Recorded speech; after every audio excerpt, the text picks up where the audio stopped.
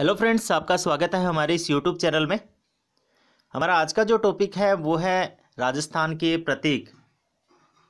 ये जो राजस्थान का प्रतीक है, वो काफ़ी महत्वपूर्ण टॉपिक है, जो सभी एग्ज़ाम्स के लिए महत्वपूर्ण है और रीट में भी विशेषकर जो है जो है सभी विषयों के लिए सामान्य जो है टॉपिक है तो आपको इसमें से एक या दो प्रश्न है, वो पूछे जा सकते हैं। तो हम वो प्रश्न करेंगे जो आज तक पूछे गए हैं, प्रश्न नहीं, बल्कि हम सारे जो प्रतीक है, उनके टोटल जो महत्वपूर्ण प्रश्न बनते हैं, उनके बारे में भी पढ़ेंगे। तो चलिए स्टार्ट करते हैं हम पहले प्रतीक से। सबसे पहला प्रतीक है, राजस्थान का राज्य वृक्ष खेजड़ी। खेजड़ी, जिसे जांटी भी कहा जाता है 31 अक्टूबर उन्नीस सौ तिरासी, याद रखना है 31 अक्टूबर उन्नीस सौ तिरासी को इसे राष्ट्रीय, राज्य वृक्ष है, वो बनाया गया था। दूसरा प्रश्न बनता है वैज्ञानिक भाषा में इसे प्रोसेपिस प्रोसेसिव सिनेरिया के नाम से जाना जाता है। तीसरा प्रश्न है, ये नागौर में सर्वाधिक है। उन्नीस सौ के अंदर इस पर एक डाक टिकट जारी किया गया था साठ पैसे का। ऑपरेशन खेजड़ा इसी से संबंधित था जो उन्नीस सौ इक्यानवे में चलाया गया था। इसे समी वृक्ष भी कहा जाता है, जिसकी पूजा विजयदशमी यानी दशहरे के दिन होती है। खिचड़ी का पेड़ है, वो विष्णोई समाज के लिए भी काफ़ी महत्वपूर्ण है। विष्णोई समाज संप्रदाय इसे समी वृक्ष के नाम से जानते हैं। इसे सामान्य भाषा में शिमलो कहा जाता है, शिमलो। खिचड़ी की जो हरी फलियाँ लगती है गर्मी में उसे सांगरी कहते हैं, और सूखी फलियाँ होती है, उसे खोखा भी कहा जाता है। खेजड़ी के जो पुष्प है, उसे मिंजर कहा जाता है पत्तियों का जो चारा है, उसे लूम या लूंग कहा जाता है। नेक्स्ट ये भी हमें ध्यान में रखना है। पांडवों ने अज्ञातवास के दौरान अपने जो अस्त्र शस्त्र छिपाए थे, वो खेजड़ी के नीचे ही छिपाए थे। खेजड़ी के वृक्ष के नीचे ही गोगाजी और जुझार बाबा के मंदिर होते हैं। शेखावाटी में सबसे ज़्यादा है और मैंने बताया नागौर में जो है संख्या सबसे ज़्यादा है। हरियाणवी भाषा में इसको जाटी कहते हैं। तमिल भाषा में इसे पे में कहते हैं, कन्नड़ भाषा में इसे बन्ना बन्नी बंगाली में इसे साईगाच और सिंधी में छोकड़ा के नाम से जाना जाता है। खेजड़ी की रक्षा करते हुए ही सन 1606 में पहला बलिदान जोधपुर के रामसरी रामसड़ी गाँव में कर्मा और गोरा द्वारा दिया गया था। 1730 में छः तीन सौ तिरसठ लोगों द्वारा खेजड़ली गाँव में है, वो बलिदान दिया गया था अमृता देवी बिश्नोई के नेतृत्व में। तो उसी दिन को याद रखते हुए वहाँ पर जो है, प्रतिवर्ष विश्व का एकमात्र वृक्ष मेला लगता है। ये अपने को खेजड़ी के संदर्भ में है, वो सारी बातें ध्यान में रखनी है।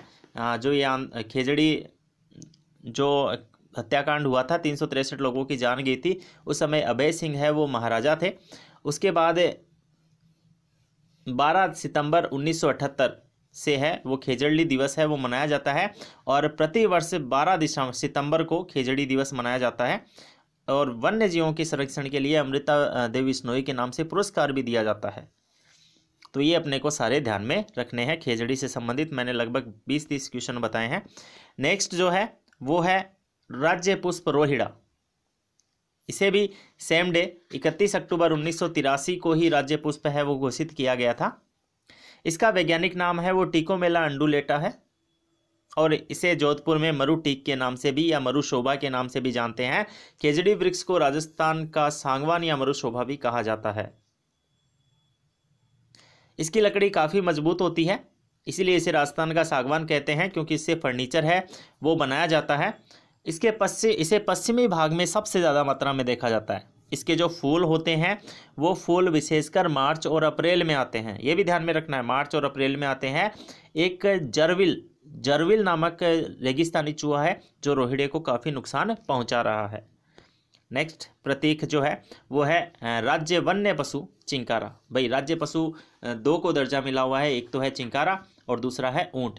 तो हम पहले चिंकारा की बात करते हैं, जो वन्य पशु है, ऊँट है, वो पालतू पशु की श्रेणी के अंतर्गत शामिल है। तो चिंकारा चिंकारा को राज्य पशु का दर्जा है, वो 22 मई उन्नीस सौ इक्यासी को दिया गया था।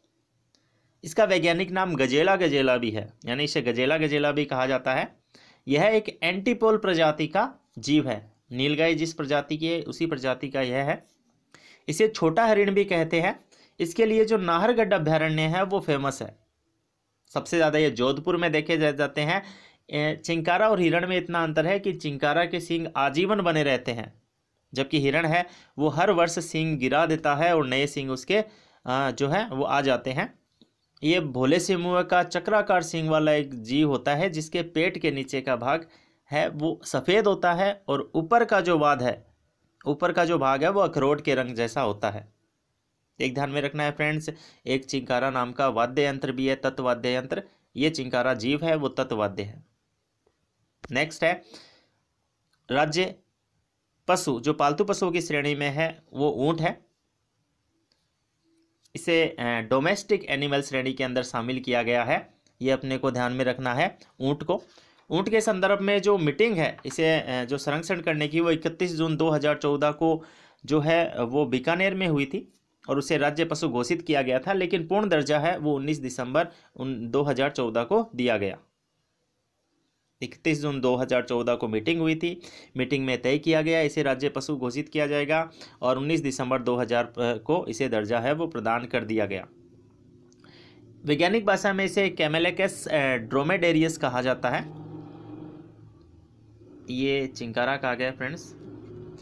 इसका अनुसंधान केंद्र है, वो जोहड़ बीड़ है। और सर्वाधिक ऊँट है वो जैसलमेर के अंदर पाए जाते हैं। राजस्थान में भारत के सबसे ज़्यादा ऊँट है वो पाए जाते हैं। सर्वाधिक ऊँट जैसलमेर में है, जबकि सबसे कम प्रतापगढ़ में है। केमल मिल्क डेयरी है, हमारे जो है, राजस्थान में स्थित है। केमल मिल्क की डेयरी भी स्थित है। राजस्थान के जो ऊँट हैं, ऊँटनी के दूध को अक्टूबर 2000 को सर्वोच्च न्यायालय ने मानव शरीर के लिए सबसे श्रेष्ठ दूध है वो घोषित किया था 2000 के अंदर सर्वोच्च न्यायालय द्वारा। यह मधुमेह की भी औषधि है। नाचना की ऊँट सुंदरता के लिए विख्यात है, जबकि गोमठ फलोदी के ऊँट है, वो सवारी के लिए प्रसिद्ध है। इसे रेगिस्तान का जहाज़ भी कहते हैं, क्योंकि रेगिस्तान में तीव्र गति से चल सकता है। ऊँटों का पालन पोषण है, वो रायका जाति कहती, करती है। ऊँटों की चमड़ी पर बनने वाली कला है, वो उस्ता कला कहलाती है। नेक्स्ट है। नेक्स्ट है, राज्य पक्षी गोडावण। राज्य पक्षी गोडावण। गोडावण जो है, वो एक पक्षी है, राज्य पक्षी है, वो घोषित किया गया मुख्यतः ये अफ्रीका का है, यानी अफ्रीका में मुख्य रूप से पाया जाता है। राज्य पक्षी 21 मई 1981 को घोषित किया गया था, जिसका वैज्ञानिक नाम है क्रायोटिस नाइग्रीसेप्स है। यह काफ़ी शर्मिला पक्षी है, जिसे हम सोहन चिड़ी स्थानीय भाषा के लोग वहाँ पर कहते हैं। इसे ग्रेट इंडियन बस्टर्ड के नाम से भी जाना जाता है। हाड़ोती में से जो है, थोड़ा बहुत मोर से मिलता जुलता होने के कारण माल मोरडी कहा जाता है। ये सबसे ज़्यादा सोरसन, सोकलिया और मरुधान में मिलता है। यानी जैसलमेर के मरुधान में इसकी संख्या काफ़ी ज़्यादा है। 1980 में गोडाउन से संबंधित पहला अंतर्राष्ट्रीय सम्मेलन है, वो किया गया था जयपुर के अंदर।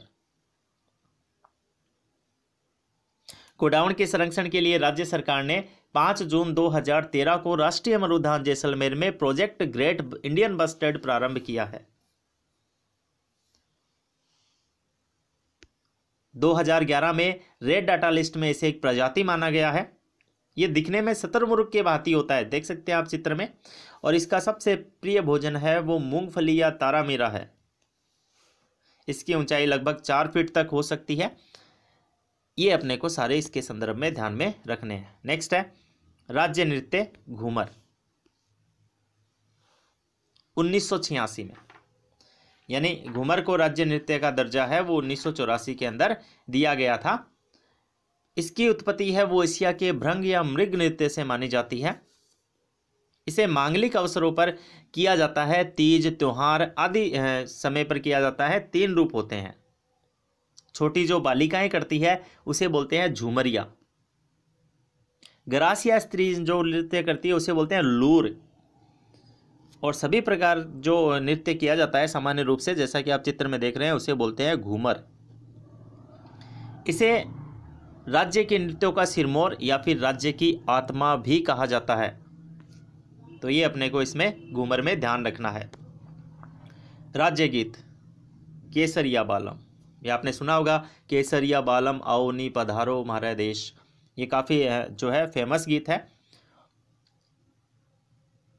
इसे पहले, भाई, सबसे पहले इसे गया था मांगी बाई ने उदयपुर में गया था, लेकिन इसे वास्तव में सही स्थान जब मिला, जब अल्लाह जिलाबाई ने इसे अंतर्राष्ट्रीय प्रसिद्धि है प्रदान की थी, यानी अंतर्राष्ट्रीय सम्मेलन में इसको गया था, इसीलिए इसको अंतर्राष्ट्रीय जो है प्रसिद्धि मिली। ये बीकानेर की निवासी है और इन्होंने सबसे ज़्यादा बार इसको गाया है। अल्लाह जिलाबाई को राजस्थान की मरु कोकिला कहा जाता है और ये जो गीत है, वो मांड गायकी शैली का है। फ्रेंड्स, यदि ये सब चीज़ें आपको अच्छी लग रही है, ये टॉपिक अच्छा लग रहा है तो इसे ज़रूर चैनल को सब्सक्राइब कीजिए और इसे लाइक ज़रूर कीजिएगा। हम आपके लिए सभी टॉपिक है वो लेकर आएँगे। नेक्स्ट पर्सन है। राज्य का शास्त्रीय नृत्य है कथक। राज्य शास्त्रीय नृत्य है, वो है कथक। कथक है, वो उत्तरी भारत का मुख्य नृत्य है, जिसका प्रमुख घराना है वो लखनऊ है। लेकिन अपने राजस्थान में इसका मुख्य घराना है वो जयपुर है, और इसके जो जनक है, जन्मदाता है, वो भानुजी महाराज को माना जाता है। नेक्स्ट है, राज्य खेल, बास्केटबॉल। बास्केटबॉल को राज्य खेल का दर्जा दिया गया है 1948 में। उसमें एक समय में एक टीम में पाँच खिलाड़ी कोर्ट में खेलते हैं। सरकार द्वारा जयपुर में बालिका वर्ग के लिए और जैसलमेर में बालक वर्ग के लिए बास्केटबॉल अनुसंधान छात्रावास है, अनुष्ठान छात्रावास है प्रारंभ किए हैं। खिलाड़ी इसके हैं खुशीराम, जिन्हें भारत का स्कोरिंग मशीन कहा जाता है। स्कोरिंग मशीन खुशीराम को कहा जाता है। इसे राज्य खेल का दर्जा 1948 में दिया गया था। ये अपने को ध्यान में रखना है।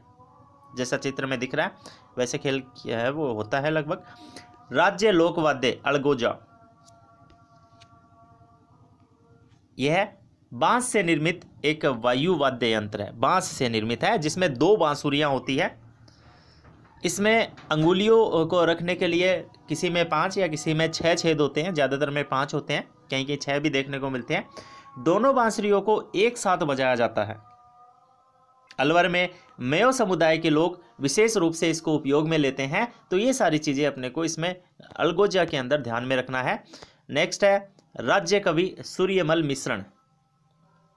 इनका जन्म संवत 1815 में। याद रखना है फ्रेंड्स, संवत 1815 में हुआ था। ये जो है संवत 1815 इसमें ध्यान रखना है, बूंदी के महाराव राम सिंह के दरबारी थे ये। इन्होंने वंश भास्कर, वीर सत्सई, वसंत विलास एवं छंदमेव ग्रंथों की रचना की है। वंश भास्कर और वीर सत्सई, ये दोनों आपको ध्यान में रखना है। काफ़ी बार पूछे जाते हैं, काफ़ी महत्वपूर्ण है ये दोनों, वंश भास्कर और वीर सत्सई। ये काफ़ी महत्वपूर्ण है तो आपको दोनों ही ध्यान में रखने हैं। नेक्स्ट है, आधुनिक राजस्थानी काव्य के पुरोधा कवि माने जाते हैं सूर्यमल मिश्रण। वीर सत्सई के समय इन्होंने, वीर सत्सई में समय पलटी सीज की घोषणा की थी और स्वतंत्रता के लिए लोगों को है वो प्रेरित किया था कि स्वतंत्रता के लिए जो है इन्होंने लोगों को काफ़ी ज़्यादा मात्रा में है वो प्रेरित किया था। इन्होंने अपनी क्रांतिकारी रचनाओं से सबको प्रभावित किया था वीर सत्सई के अंदर। स्वतंत्रता के दौरान इन्होंने काफ़ी क्रांतिकारी रचनाएँ हैं, वो लिखी थी और इन पर एक डाक टिकट भी जारी किया गया है 1990 के अंदर, जो आपको दिख रहा है यहाँ पे।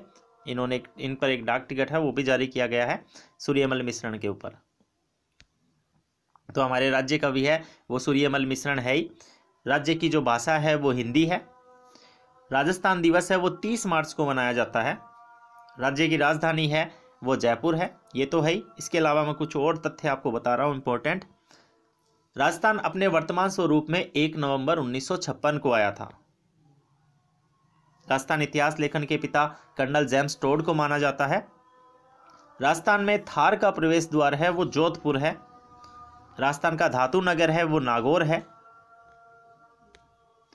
पहाड़ों की नगरी है, वो डूंगरपुर है और रेगिस्तान का गुलाब जैसलमेर को कहा जाता है।